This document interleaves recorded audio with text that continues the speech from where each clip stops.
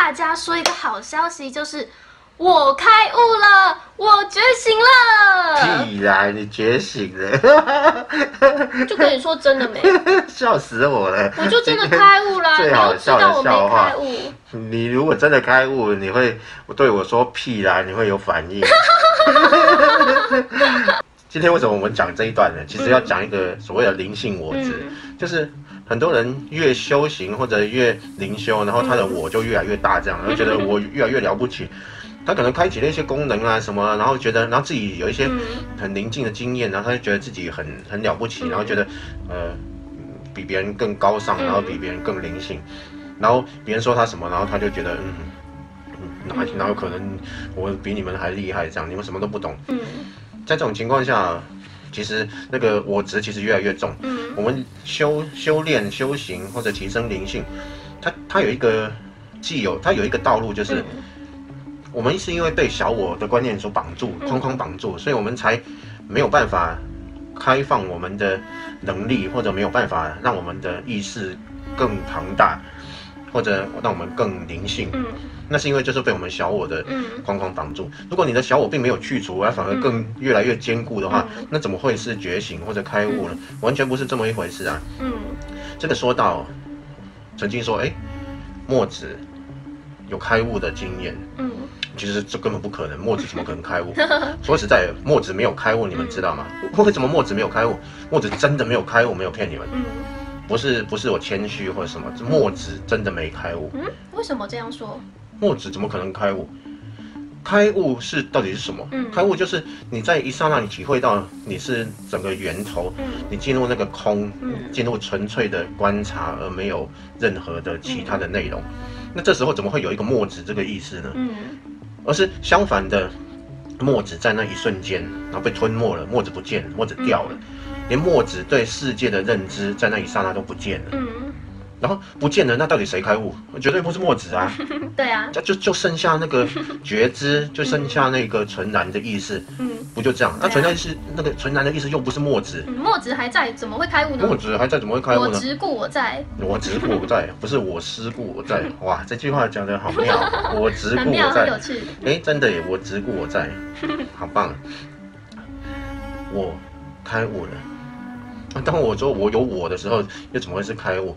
开悟其实不是一个个人的事情，大家一直，尤其是最就是现代哈，嗯很多这种现象看到，就是嗯很多人跳出来说我开悟了，我开悟了，嗯我觉醒了，我已经觉醒了，我快觉醒了。我快觉醒了，我开悟了。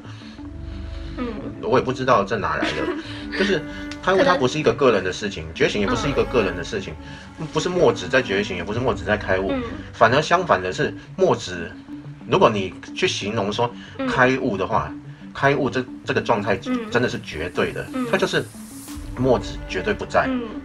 墨子绝对不在，那就是剩下那个开悟的状态，嗯，就是嗯意识的本身。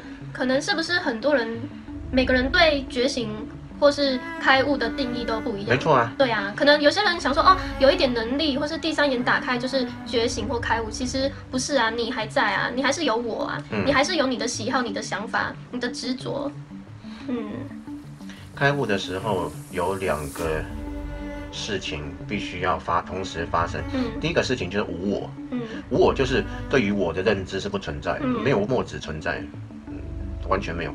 嗯。第二个是对宇宙万物、对世界的那个信念认知当时不在，所以一个是无我，然后一个是没有世界，没有我，没有世界。嗯，没有你，没有我，没有世界，没有什么都没有没有世界，有什么没有？啊，老子称这个叫无，那佛称这个叫做空。嗯那就是同一回事。那既然是无，既然是空，哪来的我啊？嗯哪来的墨子？那所以墨子不可能开悟啊，这正好是墨子不在才有机会开悟，嗯就是这样子啊。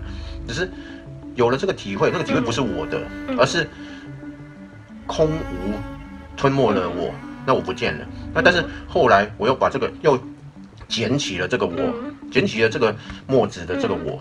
然后就继续生活，但是这时候我有一种视角，哎，我可以从空无去看到我这个墨子，嗯。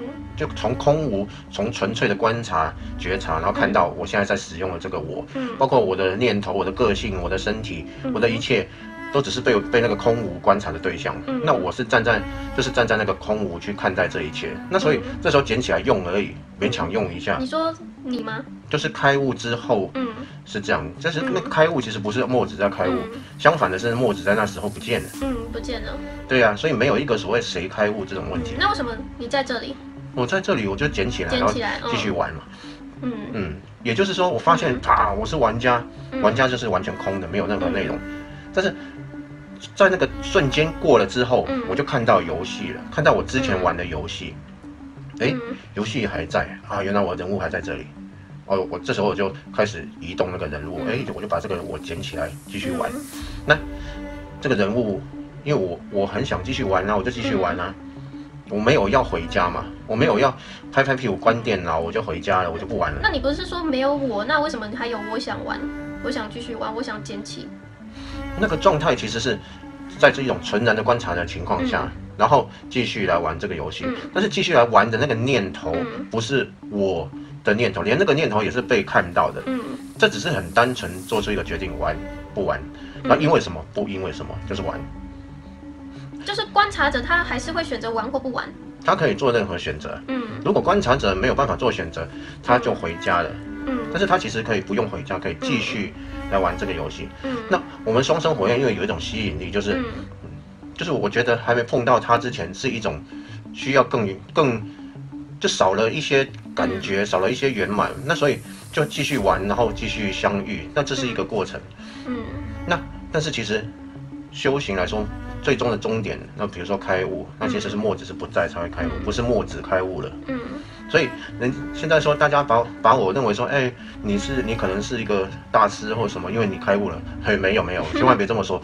墨子从来也没开悟过。对啊就是墨子不在才有那个悟嘛，墨子在怎么会有那个悟？所以墨子只是一个平常人，跟大家一样是一个普通人，嗯就是一个人格嘛，就跟大家一样啊，哪有什么开悟不开悟？对啊那墨子之外，那个纯粹的观察，你也有，我也有啊。嗯我跟你没有不同啊，所以嗯我没有比你更高尚嗯或者更强大或者什么，嗯完全没有，我跟大家一模一样，跟谁都一样，我们大家完全都一样。嗯那所以我有比别人更好吗？完全没有哎、那那有什么了不起的？嗯完全没有了不起啊。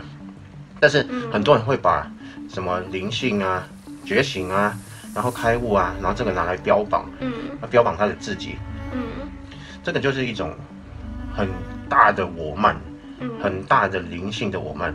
灵性的我慢。一般人的我慢顶多说啊，我很了不起，我是个董事长什么哦。但是现在不一样了，这个我慢大到说，呃，我是佛，我是宇宙的主宰，我是什么？那那个我慢就很大了。所以在外面如果听到人家说，哎、我开悟了，还是我整我我觉醒了，那都那都是其实就没有真的觉醒，就就没有了，因为那个我还在。嗯，没错，这个必须要表达的很清楚。那可是有被被吞没过的人，那个又叫什么？被吞没过的人，嗯。被吞没过的人跟没吞没过的人不是一模一样吗？嗯。但是这种后来如果以玩家的角度去生存，然后去控制自己的人物，嗯。去看待人物，知道人物不是自己，嗯。这种在佛教里面是给他一个称谓，嗯。叫做菩萨。嗯。那但是菩萨的定义也不是这么简单，菩萨定义就是嗯。你会有一种胸怀，你去想说你要把这个嗯跳出来这个解脱的方式要告诉别人，然后要去感染别人，然后分享给很多人，让他们离开这个痛人自己是人的这种苦。那这样的人就把它叫做菩萨。意思是我们是菩萨吗？我们是菩萨，其实很多人都有这种胸怀啊。嗯，嗯，不是只有，就是菩萨定义不是想说啊很高尚什么对啊，不是什么很宇宙。里面的一种高龄啊，菩萨什么，其实他只是有帮助人的胸怀就可以叫菩萨，嗯就是想把解脱的这种分享给大家，嗯就是这样。每个人都是菩萨，每个人都是菩萨，而且每个人都在开悟的状态，自己不知道。不知道，都在开悟的状态，不知道。因为你我们的那个觉察，存在的觉察，每个人都有，每个人都在，嗯只是被搞混了，以为我嗯。个性啊什么那些才是我，嗯然后嗯。被那些绑住了，然后当别人去攻击你那个有个性、有身体啊、嗯。这个我的时候，你就觉得你被打到，对你被攻击到，然后别人讲几句话就嗯。什么我我不认，我觉得这样子不 OK。对呀、你怎么可以这样子说？嗯，只是这样子。嗯。在嗯宋朝哈有一个故事，苏东坡大家都应该有听过。嗯苏东坡是宋朝大学士，他是一个非常有学问的人。嗯他他后来哦就接触佛法，就开始修行，然后嗯他也修得很好。嗯然后他有一个好朋友，嗯是一个当代的禅宗大师，叫做佛印。嗯这个佛印禅师啊，他的修行非常高。嗯那苏东坡常常会跟他辩论啊，跟他聊佛法，也受益了很多。嗯那苏东坡，但是他自己修到一个程度之后，嗯然后他就觉得，哎、自己修行非常的棒，非常的酷，然后嗯他就在某一天很有感觉的情况下，他写了一首诗哦。我看一下那个诗怎么念了，我有点忘记了。这首诗哦，它是这样子的，它这首诗是说：稽首天中天，毫光照大千，嗯八风吹不动，端坐紫金莲。稽首啊，就是叩叩首、叩头的意思，就是礼拜啊。礼拜嗯，礼拜不是礼拜几那个礼拜，是很有礼的嗯礼的去恭敬的拜。嗯那礼拜谁呢？天中天，天中天就是比天还要高的天中天，嗯那个指佛了。所以他就是说啊，他很虔诚的去礼拜这个佛。嗯那第二句毫光照大千，就是说，当我去很虔诚的礼拜佛，我的心跟佛是一样的。嗯这时候我发出来的毫光，哇，就照亮了三千大千世界。三千大千世界，佛教是说形容整个宇宙。嗯嗯，那我的光可以照到整个宇宙那么大，哇，好了不起。然后第三句他说八风吹不动，八风吹不动，佛教里面的八风嗯是指八种不同的呃事情，就嗯这八种事情就好像风一样吹你，都把你吹不动的话，哇，嗯你就是可能真的开悟了。嗯那哪八种呢？增积毁誉利衰苦乐，嗯称就是称赞，然后讥就是责骂啊、讥笑啊这样子。讥就是有人说我坏话啊什么这种，就是讥。嗯毁就是诋毁你，嗯，就是毁谤你，嗯就是说啊你是假的啦，你不是毛素星人啦，你是假的啦，你不是开悟了，你是假的，你是假的，你不是毛素星人，这种就是毁。那如果你是呃你是真的，然后你被人家诽谤或者什么，那你就会生气，就就呃怎么这样呢？怎么这样？哦对啊，这个就是毁。誉，誉就是呃去称赞你，然后去说你很棒很行，嗯。然后就是让你很有荣誉，有有一种名誉，嗯。嗯，就是把你的身价，把你的身份给你抬得高高的这样，抬得高高的，，对。然后再利，利就是利益嘛，嗯。就是金钱啊或者其他的一些利益。嗯。衰呀、就是事业衰败啊，你也不会有感觉。然后苦啊、乐啊，总共这八种哈，经过你都不会让你受到动摇，嗯这个叫八风。那苏东坡说他自己八风吹不动，嗯嗯，然后最后一句端坐紫金莲，端坐紫金莲就好像坐在那个紫金莲上面，紫色的、金色的莲花这样哇，就好像佛一样。所以他把自己的境界形容的跟佛一样，八风也吹不动他，然后端坐在紫金莲，他的光啊可以照遍整个宇宙，哇！然后才想想说，我写这首诗这么有意境，这么棒，我的意境这么高，我赶快啊把这首诗送给佛那个我的好朋友佛印禅师品尝一番，看看让他看看我的境界是多么高。这样，他就叫他的书童马上送去给那个佛印看，那佛印一看，然后就把那字条翻过来，写了两个字，然后就那叫那个书童送回去。嗯那书童就把那个字条送回去给苏东坡。嗯那苏东坡一看，抓狂了。然后那两个字写什么？写呃放屁，放屁，放屁，放屁，跟我们一开始讲的一样，屁啦，屁啦，放屁。苏东坡一看火了，我明明这么高的境界，然后写的这么好，嗯。你干嘛说我放屁啊？嗯。然后他就受不了了，然后就因为那个佛印的那个寺庙啊是在一座湖的中间，所以他就坐船啊，赶快坐船，然后渡船，然后过去亲自过去要找那个佛印理论。然后到了那边的时候，那个寺庙啊，那佛印其实已经外出了，嗯但是佛印可能交代他的寺庙的一个僧人啊，嗯就留了一个字字条给他，嗯然后请他看，然后那个字条就写说：八风吹不动，一屁打过江。就说你不是你不是说你八风吹不动吗？说你放屁一个屁字啊，就把你打过江来，你就亲自过来，早就知道你会来。苏东坡一看，哇，很惭愧，嗯就反省自己，然后就回去了。晚年我，苏东坡修行真的就很好，是不是开悟我就不知道，但是他有领略到这样的道理，他明白自己的灵性我执嗯非常大，他终于知道啊，原来不是这样。嗯。那那我有一个问题，就是你是嗯，你是被吞没，然后又捡起来玩的，是这样吗？嗯，那么，那么你现在又是一种，你现在就不是一种八风吹不动的状态吗？就不是啊，不是啊，我不是八风吹不动啊，嗯我我现在哦，连观察者的角度我都不一定是很深的，嗯。我往往哦就是很融入这个人物，嗯嗯，就是我玩的等于就像玩游戏玩的很起劲，废寝忘食这样，废寝忘食哇玩的很起劲。就然后像我一样。在。游戏里面哦，被人家人物被人家打到啊什么，就就会，嗯。哎，怎么打我啊？你们搞错了的，还是会会不爽啊。可是不不会有差吗？有差有差，只是在那个反应的程度嗯。不会那么严重，你就会很淡然的以一种玩的玩家的心态去看待，但是你还是会有反应，嗯但是背后还是始终会有一个永永远不变的观察在嗯看着这个事情发生。那你可以决定要深入那个观察者，还是就是淡出？可以，就是这就是呃吞没后又捡起来才有的一个算才能去控制吗？嗯，因因为你可以可以决定说，让你的自我稍微放松，或者抓稍微紧一点，这个变成自己可以去掌握哦，。所以要先被吞没过才能才有办法自己能够去掌握。呃，也不完全，就是说，嗯在吞没之前呢，我们也可以尝试用，因为每个人都有那个观察的角度，嗯因为没有那个观察的角度，我们根本就不知道世界的事情在发生。嗯我们永远能观察到我们眼前的事情，那个觉察，嗯觉察始终都在，嗯我们就尽量让自己的嗯这个焦点、立足点退回到那个观察的地方。啊，比如说我的个性，嗯我的个性不是我啊，嗯，对啊，其实只要是我的，就不是我，就不是我，不是啊。不是我的那更不是我了。像像像我就不会，我就自愿自选择，我不开悟不觉醒，我就是想玩啊，我就是想玩。但是即使这样，就算我没有被吞没过，但我还是呃不会把巧巧当得很真这样。嗯，嗯，没错，每个人都可以每个人其实都可以这么做的。嗯，巧巧只是一个使用的工具而已。嗯，它不是真正的自己这样。嗯。要有一种如幻的视角，就是一切好像只是一个游戏，一切只是梦这样嗯，子今天想干嘛？今天想玩什么？那就去做这样子。啊，睡起来啊，就是全新的一天。嗯，然后每天都过得开开心心的这样子，因为知道是呃只是游戏嘛，只是一个巧巧只是使用的工具，只是一个角色，所以呢，嗯。就是遇到很多事情反而都不会有，嗯，不会比一般把这些当得很真的人还来得认真，对啊，嗯，嗯 但是这这是一个。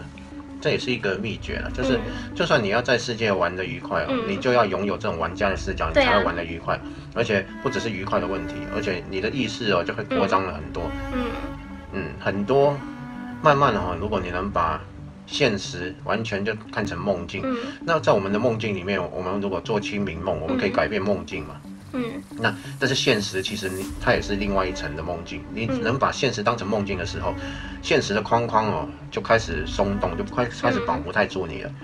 你就可以在现实里面拥有跟你梦境一样，嗯然后情侣梦一样，能够改变现实的能力。嗯但是那个出来哦，要非常清楚，不要去执着那个我。嗯你如果执着，你跑出一个功能来，你执着我，你又陷进框框里面。嗯当现金框框里面哦，这就走就就走火入魔。嗯走火入魔就是你有一些功能之后，你就那个我就变很大很大。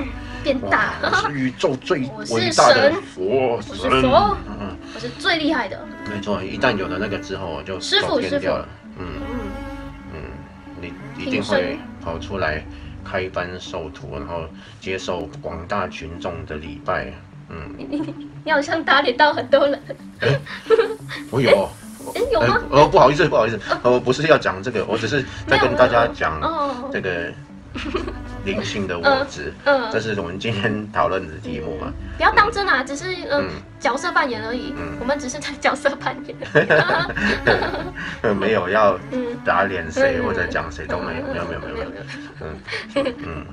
就差不多了，对不对？嗯，好，那祝大家开户顺利，嗯可以这么说吗？也 可以啊。其实也没有大家开悟顺利，因为有那个大家他也不会开悟。对啊，这是一个悖论啊，嗯就是一个一个悖论，不是悖论，一个悖论。这悖论就是，嗯，有我就不可能有开悟。啊，那那既然没有我开悟，那又是谁开悟？所以根本没有开悟这回事嘛，嗯，是不是这样？对啊，那应该怎么说呢？世界有真理，真理是存在，嗯真理它就自己就存在，它只有真理，嗯只有真相。那真理就是绝对的，嗯。啊，真理存在，而不是我有真理，嗯，我不能拥有真理，有我的时候就不是那个真理，对啊，所以真理是在我之外，嗯。不是不能拥有我，你可以站在观察角度去使用这个我，嗯是可以的，绝对可以这样子，嗯可以玩，不是说开悟之后就变成一个植物人，嗯呃，呃，没有我，呃，没有世界，呃，一切都没有，整天盯在那边，哦，空。开悟不是变植物人，大家不要误会，不要害怕那个，哇，我开悟之后会不会，哎、我也没有了，然后世界的认知也没有，我就跟白痴一样。其实不会这样子啦，不用担心，你一定会把这个我拿起来玩，拿起来玩之后，你爱怎么玩就怎么玩，嗯，嗯，不用那么担心。所以开悟是呃只能维持一段时间，然后后来就没了嘛，又回来了。嗯。这个自我他的感觉会回来，回来之后，但是以前我们是以为自己是游戏里面的那个人物，开悟之后就你不会认为你是自那个游戏里面的人物，你会认为自己是玩家，嗯。你只总是站在玩家的角度去进行游戏，所以游戏不管怎样子，你还是保持着那个玩家的视角。开悟之后会保持这个，那但是开悟之后。人物的在游戏里面的一切会嗯。会被这个视角嗯。如果你很深的一个观察者视角，一切都会被这个观察者视角给融化、消化，嗯。就慢慢你会对所有事情都会很淡然，越来越淡，越来越淡。到了某一个契机的时候，你就会想把把电脑关掉走人。嗯。那刚刚说这个是菩萨嘛，嗯。那如果把电脑关掉走人，这个就成佛了。嗯哦。其实成佛跟菩萨的意思，对，就是这样子。嗯。嗯，那嗯我们一直想说佛是一个在天上的一个嗯很大一尊什么，其实没有，它 什么都没一有。尊佛，对呀，嗯。那就算没有被吞没，就还是有我在，也可以不用把那个我看得这么认真啊。你也可以跳出那个人物的视角，然后你也可以见退到那个嗯观察者视角，也可以把那个人物不要抓那么紧，对呀、对呀、对这时候会更好玩。嗯，对啊，这时候会更好玩。嗯不要太认真，不要太认真。我们说什么话也不要不要认真啊，不要认真。说什么这些其实说得出来，就是认知，就是信念。对呀啊，我们在做什么？我们嗯、呃头发怎样？我们戴什么？戴什么面具？什么？要不要摘？要不要折？都啊，不要认真啊。我们就算对啊，我们就算呃躺着歪七扭八，什么 要不要认真啦嗯？我们只是在玩而已啊，这就是一场开心的游戏。那大家何必这么严肃呢？嗯，对啊，不用 不用这么认真啊。说哎。对啊，虽然虽然大家可能都是好心建议，但是不用这么认真啊，真的，我们没有这么认真，我们随便玩而已，嗯，只是分享讯息这样，嗯，边玩边分享讯息，好嗯，就这样啦，拜，拜，拜拜。